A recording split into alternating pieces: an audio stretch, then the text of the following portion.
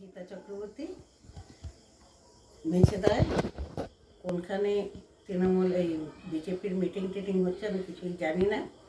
হঠাৎ আমার কাছে একটা ফোন এলো, সেই বিজেপির মিটিংয়ে আমার নাম ঘোষণা হয়েছে, আমি বিজেপিতেই জয়েন করছি। কিন্তু এর আমি বিষয় কিছুই জানি না, আমি আছি বাড়িতে। আমি অতীতে সিপিএমের জেলা পরিষদের মেম্বার ছিলাম প্রধান ছিলাম দুবার পঞ্চায়েত মেম্বার ছিলাম পঞ্চায়েত মেম্বার ছিলাম। আমি মমতা দিন উন্নয়নের সাথে আমার খুব ভালো লেগেছে।